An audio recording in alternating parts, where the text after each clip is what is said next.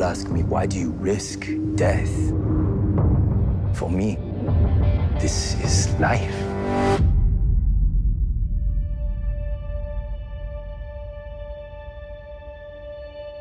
My dream.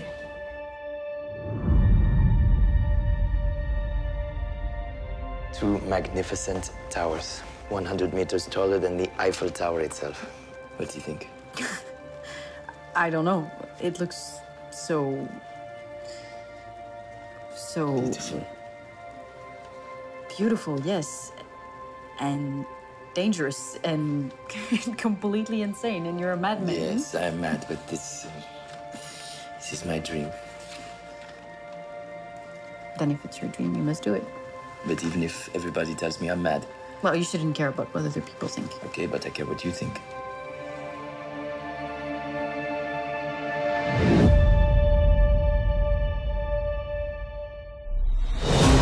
Welcome to New York. Anything to declare? I'm going to hang a high wire between the two towers of the World Trade Center and walk on it. Good luck. No matter where I was going or what I was doing, I was always searching, looking for the perfect place to hang my wire. Whoa. I need you to help me pull this off. I got just the guys. Now it starts. I'm in a red zone. I'll figure out how to get the wire across. I think we should wait. No! This is extremely illegal, not to mention dangerous.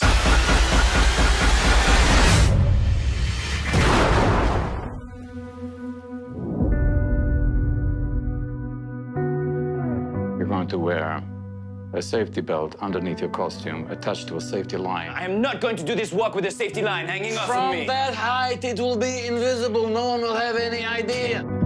Years ago, you told me something I always remember. You said you cannot lie on stage. The audience will always know what is inside your heart.